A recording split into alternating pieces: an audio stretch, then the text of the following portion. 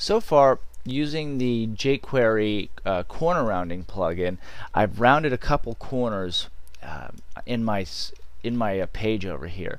But actually, if we look back at this plugin's uh, informational page over here, its demo page, we see that it has a bunch of different options for all these different effects from round, bevel, notch, and all this. And I want to show you actually two things in this video.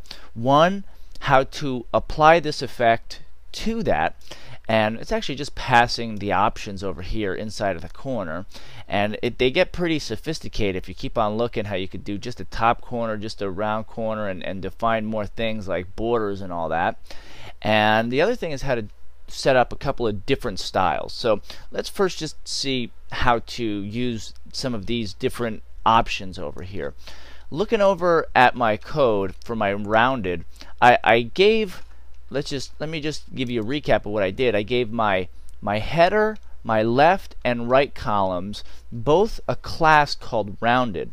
And that class, if we look up at the head portion of my CSS, um, I'm sorry, of my HTML document, is just passing the most generic option possible and that's corner rounding. It's not doing anything more than that right here. Now if I want to change the way I um, I have like sorry the style of of the corner rounding. I have all these options over here. So if I want it beveled I just use this bevel call over here in, inside of quotes and I put that right in the middle like so right there And what I'll do, once I save it, I could reload my Holy Grail layout, and now these corners should change to beveled corners. Let's see if it happens. There we go. See, that becomes beveled. Pretty good. And obviously, if you look, all the different options that are listed on the page over here, we have. We have notch, all these different ones. So, so once you figure out the, that the one that works best for your site, you have all these different ways of doing it. And of course, when you keep on going down the page, I mean everything, wicked, fray, long, tons and tons of stuff. Um, there's actually, you could also tell it says which corners you want to do. So if you want to do top, uh, bottom, top, left, right, all that. So this is going to tell you if you just want, like, let's see, just bevel top. It's just going to bevel all of those. You just kind of want to make sure. I just copy and paste the syntax and now, I guess what this is going to do is, I'm assuming that once I refresh this, these bottom corners won't be rounded and only the top.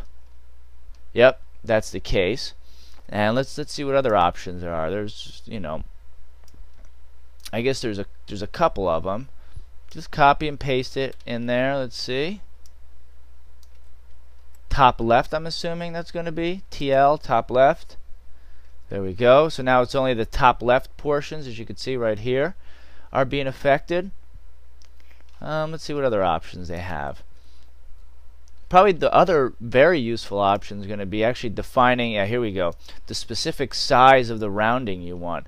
I, actually, I just like the, the plain rounding for this. I'm not a big fan of all that other stuff. But if I put inside the quotes over here a actual value for what I'm going for, let's say we put 40 pixels, and I'll save this. What this is going to do now is when I look over at my layout, all right, see it, it's it's really affecting the radius of that of that of that uh, rounding. So obviously, if I put in 10, it's going to change it significantly. There we go. So you're going to play around and see what works for you. I mean, there are really a ton of ton of options to use over here, as you can see how to put borders and all that stuff. You could get to play around with this. And the other thing I would say is that you could add more than just one different class over here. So for example, this is just called rounded, but say I wanted my my left one to be rounded like that, but I wanted the right one to be, I don't know, more rounded.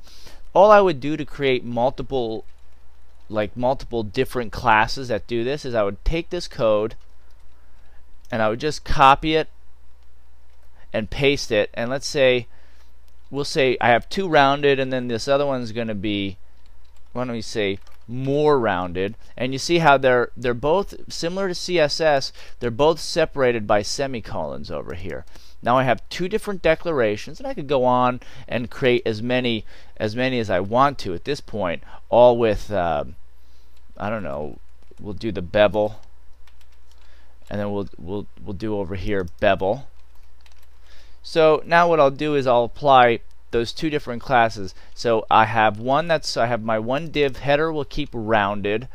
We'll go down to where I have the left and we'll put left we'll put bevel and then we'll put the right to be more rounded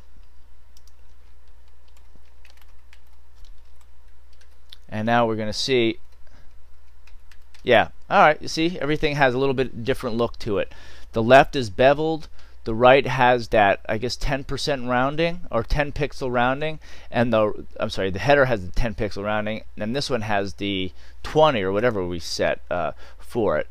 So that's all it took really to to do two different things. We have different options we could use on them and then in order to make multiple uh, to make different styles, you know, different classes that are going to affect them differently, we could separate those by semicolons within that declaration.